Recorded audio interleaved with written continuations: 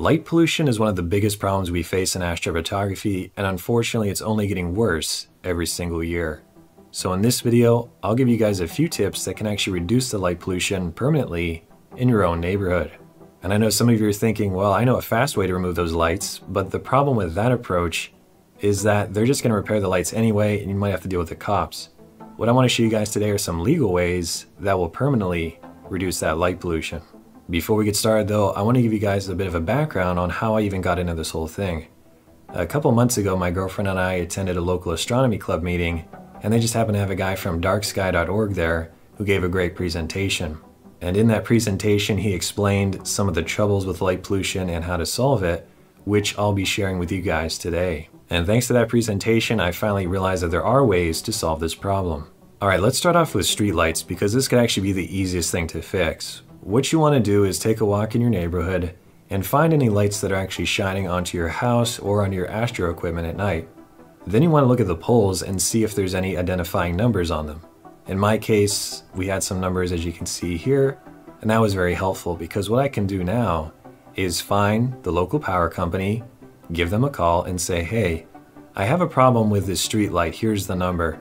The problem is it's shining directly in my bedroom at night it's affecting my quality of life, and there's a lot of light trespass. Those are all really critical things to tell them. Because if you just call up and say, hey, turn those lights off, I'm trying to do astrophotography, there's a good chance they're not really going to care. Although maybe they will.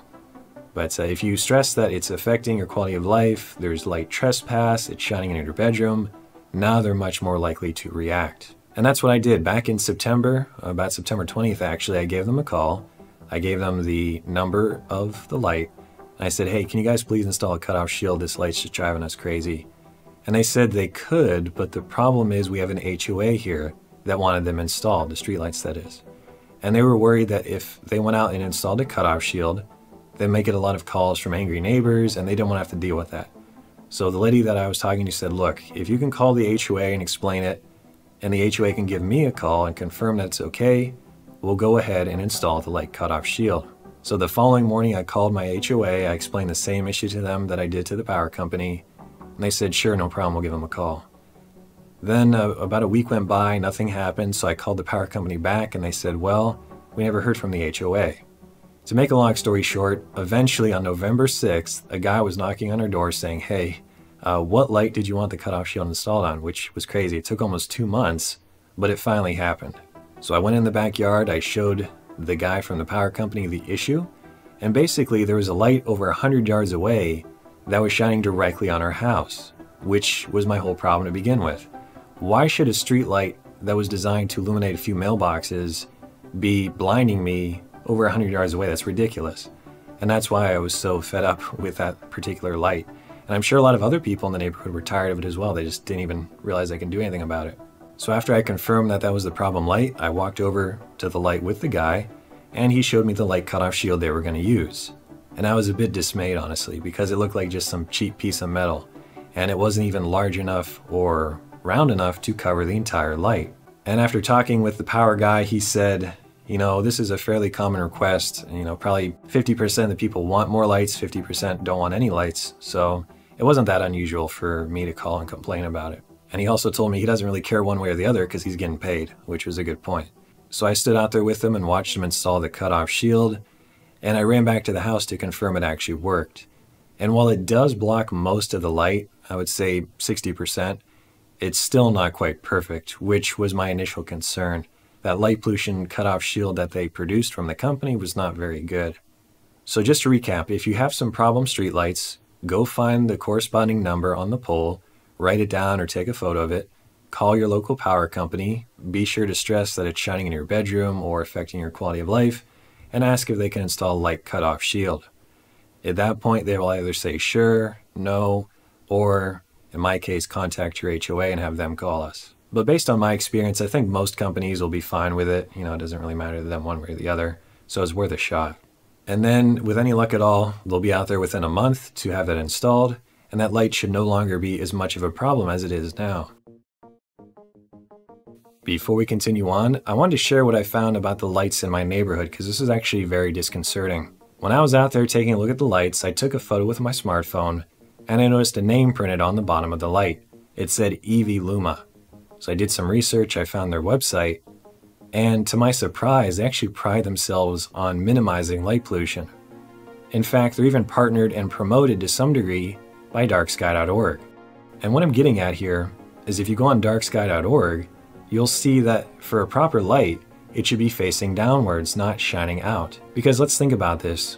If you have a light that's shining outwards, it's going to be blinding everybody driving by or walking by or even sitting in their house at night. Let's say you're afraid of getting robbed at night or something. In that case, if you have a bright light that's blinding you, you're not going to see somebody lurking in the shadows. But if that light is properly installed and the light is only shining downwards and you don't have a giant glare in your face, now you can see in the dark much better. It's the same principle as if you're out there doing astro at night and somebody shines their headlamp right in your face. You're not going to be able to see everything going on in the background. And this brings us right back to darksky.org because they have a lot of very helpful articles that will explain how to reduce the light pollution in your neighborhood. And it's always a great idea to start with your own house because while I'm guessing most of us already looked into this, there's a chance that some of our lights need to be improved. And I will have a pinned comment down below so you have links to all of the relevant articles that I found and that'll help to speed things up because I will say there are a ton of articles here on darksky.org. It can be hard to find exactly what you need. And as they show here, this is exactly my problem. When you have lights that are glaring out, it's very distracting, but if they're just pointing down, no big deal. And if we scroll down to the bottom of this article, look at the difference between an unshielded light and a shielded light. The main difference being that the trees are no longer lit up like Times Square. And this corresponds pretty well with that light near my house. When it was unshielded, it was just blasting light everywhere. Then once they installed the proper light cutoff shield, it definitely helped. I mean, there's definitely still some light pollution here that needs to be fixed, but overall, that's still a lot better. All right, now that we've talked about street lights, let's focus on your neighbor's lights, which might be driving you crazy. If your neighborhood is anything like mine, you probably have some neighbors with some very bright lights, which can be incredibly aggravating. For example, here at the new house, anytime we walk by the front windows, the neighbor's lights are just blinding. And not only is that a problem for us living here, but for doing astrophotography, that can be a real challenge. Now, my first inclination would be to go over and knock those lights out with a slingshot or a baseball bat or something else. But of course, that's not legal, and then you bring in all kinds of problems. So, this is another place where the darksky.org website had some good tips. So, here's what you want to do set up your gear one night where the neighbor's lights will be a problem, and then invite them over. Say, hey Fred, I've got my gear set up tonight. I'm going to be photographing Orion. Come check it out. It looks really cool. And with any luck at all, they'll come over. And when you're showing them the photos, make sure that they realize just how annoying their lights are. And in many cases, they'll be like, oh, I didn't even realize this was a problem. Hold on. Let me go tell my wife to shut them off, or I'll go shut them off real quickly. And that's probably the best way to prevent this problem moving forward. Because now they realize what you're doing, they realize what a problem their own lights are, and they're going to be much more willing to make some concessions. And we have to remember that most of our neighbors don't realize how annoying their lights are. So if you go over there and start yelling at them to turn them down, they'll think you're crazy. This is why it's so important to invite them over kindly, try to show them something in the night sky where you know their lights are going to be an issue, and let them discover it on their own. Another good trick might be to point something out that's above their house, whether that's a constellation or a galaxy or a satellite, and as they're struggling to see what you're talking about, Maybe then it will hit them that their lights are a problem. Another approach is to maybe bake some cookies or something and bring those over and say, hey, by the way, tonight we're gonna have a clear night. And if you guys want, I'm gonna be taking some really cool photos of a distant galaxy. Wanna come check it out? And then you could do the same tactic that I just told you. And the whole point of this approach is that you're nicely inviting them over and they're discovering the problem on their own without you ever having to say anything. That's the key. You could also advise them on how to install a light cutoff shield and say, hey, I don't mind you having lights, but is there any way we can make it so it's not shining out horizontally?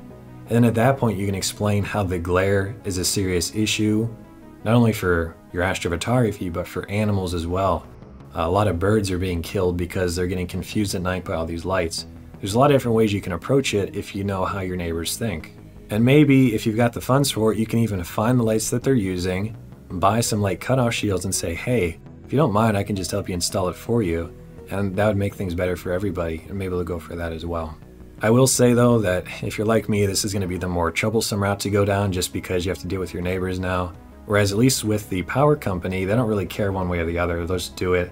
unless the HOA is giving them trouble, most likely. So that's all I've got for you today. We've talked about how to deal with light pollution in your own neighborhood. I've shared some of the experiences that worked well for me. And moving forward, I'd recommend you check out darksky.org for even more information that you can share with your neighbors and the power company if they need some more convincing. And finally, before we go, if you try any of these techniques, leave a comment down below and let us know how it went. I think it'd be cool to see how people approach the situation and what works for them and what doesn't.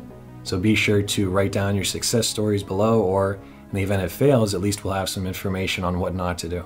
But that's all I've got for you today. I hope these tips help you out, and together we can lower the amount of light pollution in the world, one light at a time.